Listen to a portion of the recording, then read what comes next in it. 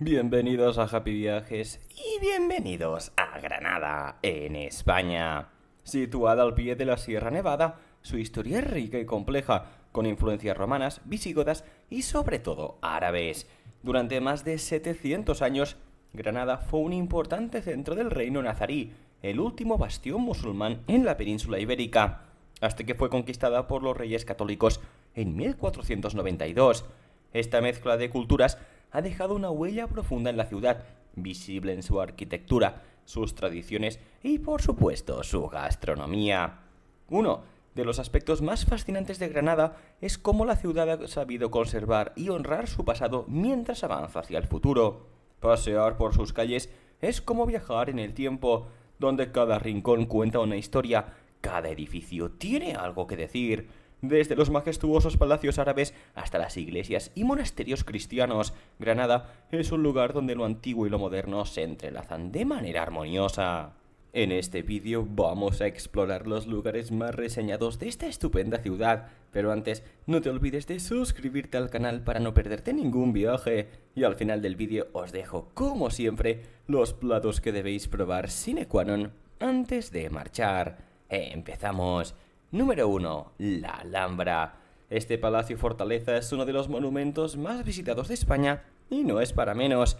Construida durante la época musulmana, la Alhambra es una joya de la arquitectura islámica. Su nombre significa la roja, probablemente por el color de la arcilla con la que fue construida, y es un lugar que combina perfectamente el poder militar con la delicadeza de los palacios. Dentro de la Alhambra no puedes perderte los palacios nazaríes, donde cada detalle de la decoración te dejará con la boca abierta. Número 2. El Albaicín. Después de visitar la Alhambra, cruzamos el río Darro para adentrarnos en el barrio del Albaicín, el antiguo barrio árabe de Granada. Este laberinto de calles estrechas y empedradas es patrimonio de la humanidad por la UNESCO y es fácil entender por qué. El Albaicín es un lugar lleno de encanto, con casas encaladas, pequeñas plazas y miradores que ofrecen unas vistas increíbles de la Alhambra y la ciudad. Uno de sus puntos más destacados es el mirador de San Nicolás. Desde aquí tendrás una de las mejores vistas de la Alhambra con la Sierra Nevada de fondo. Número 3. La Catedral de Granada y la Capilla Real.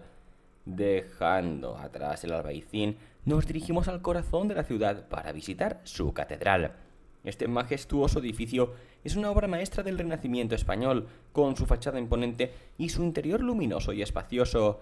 La catedral fue construida sobre la gran mezquita de Granada, simbolizando la victoria cristiana tras la reconquista.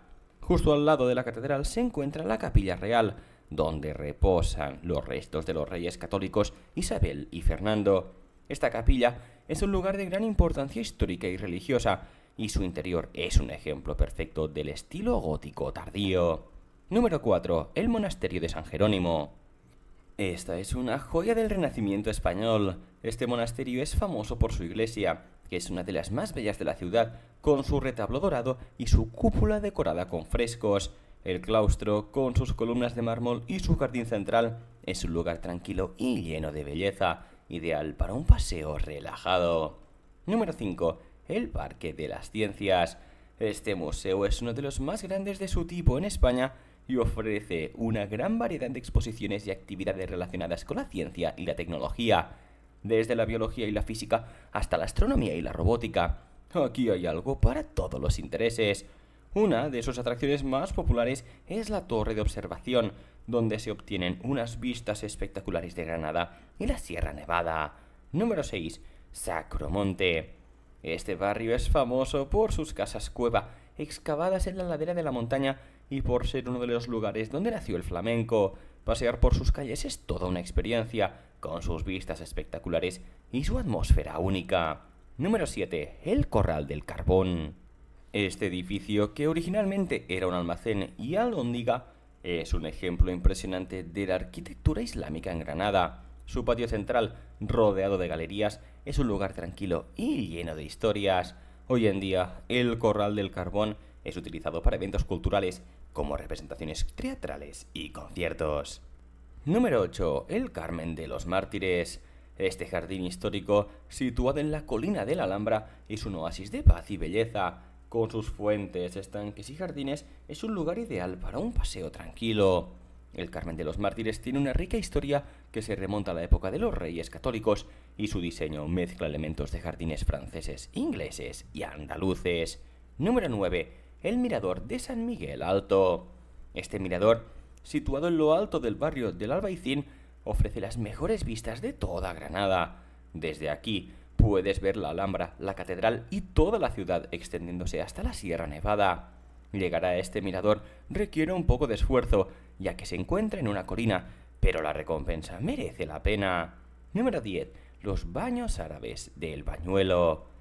Estos baños públicos son los mejor conservados de la época musulmana en España, datan del siglo XI y son un testimonio de la importancia de la cultura del baño en la Granada islámica. El bañuelo está situado a orillas del Tío Darro y su interior te transporta a otra época, con sus arcos, columnas y techos estrellados. Y ahora, después de tanto explorar, vamos a lo que seguramente estabas esperando, la comida. Granada es famosa por sus tapas, pero también tiene una rica variedad de platos típicos que no te puedes perder.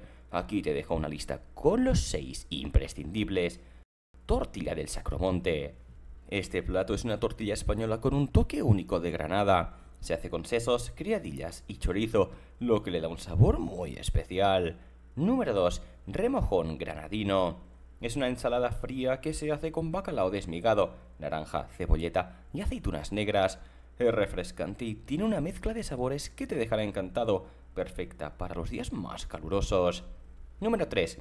Habas con jamón. Las habas se cocinan con jamón serrano y a veces se añaden huevos fritos. Una combinación clásica pero muy sabrosa. Número 4. Plato alpujarreño. Un plato contundente que te dejará más que satisfecho.